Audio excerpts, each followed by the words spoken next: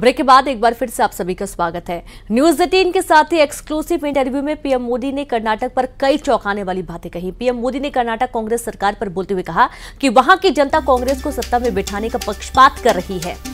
PM Modi ने कर्नाटक कांग्रेस में कई लोग खुद को सीएम मान रहे हैं। वहाँ कानून व्यवस्था चरमराई हुई है और बम ब्लास्ट हो रहे हैं। Regarding the guarantee schemes, in Karnataka, Congress promised five guarantees and they, after coming to power, they delivered that one. They, uh, as per their promise, they, they are delivering that one.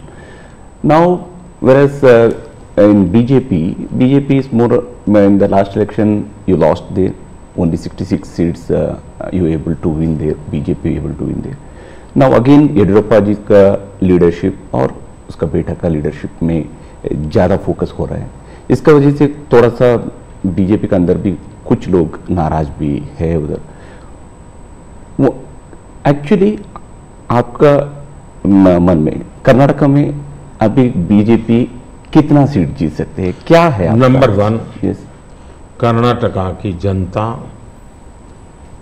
पश्चाताप कर रही है कि हमने इतनी बड़ी गलती कर दी इनको बिठा दिया। तो जन समर्थन हमारा कम नहीं हुआ है जन समर्थन हमारा बड़ा है।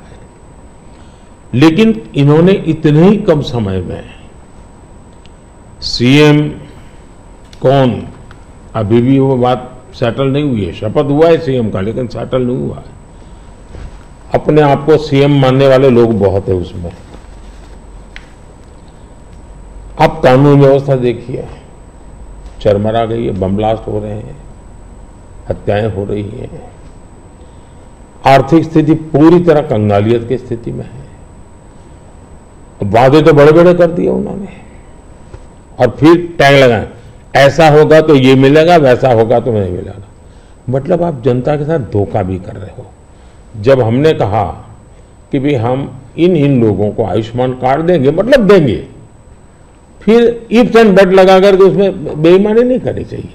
अभी जब हमने कहा कि हम सत्तर साल से ऊपर के किसी भी वर्ग के व्यक्ति होंगे, इनको आयुष्मान कार्ड देंगे मतलब देंगे। आप में ये हिम्मत होनी चाहिए। उन्होंने किसानों की जो योजना थी, वो रद्द कर दी, किसान सम्मान निधि। कोई कारण नहीं है इस प्रकार से करने का। अब बता, आप कोई सोच सकता है, जब बेंगलुरु, दुनिया में हमारा बहुत बड़ा, देश देश की इज़्ज़त बढ़ाने में बेंगलुरु का बहुत बड़ा रोल है। दुनिया में जब जाते हैं ना तो बेंगलुरु कहते ही ऐसा लगता है वो जैसा परिचित है। टैंक हब के रूप में जाना जाता था। आपने देखते ही देखते उसको टैंकर हब बना दिया। और टैंकर में भी माफिया सही चल रही है। पानी के लिए लोग तरस रहे हैं। अगर ये जो हालत उन्होंने कर दी है, अब युवाओं के स्कॉलरशिप आपने संख्या भी कर दी अमाउंट भी कम कर दी। यानी एक के बाद एक आपने ऐसे नेगेटिव काम किए हैं, जिन मुद्दों को लेकर के वोट मांगा, उन मुद्दों को आप वोट दे नहीं पा रहे अच्छा डेप्टी सीएम, वो अपने भाई के लिए वोट मांग रहे हैं और वो खुद सीएम बन सके, इसलिए सब खेल खेल रहे हैं। वो सीएम से हटे, इसके लिए भी खेल खेले जा रहे हैं। जहाँ तक भारतीय जनता पार्टी का सवाल है, हम टीम स्पिरिट से काम करने वाले लोग हैं।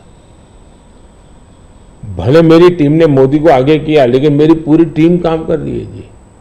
उसी प्रकार से येडियुरप्पा जी हमारे वरिष्ठ नेता हैं, लेकिन काम पूरी टीम कर रही है और टीम मेहनत करती है, लोगों को विश्वास भी है और हम आगे बढ़ रहे हैं।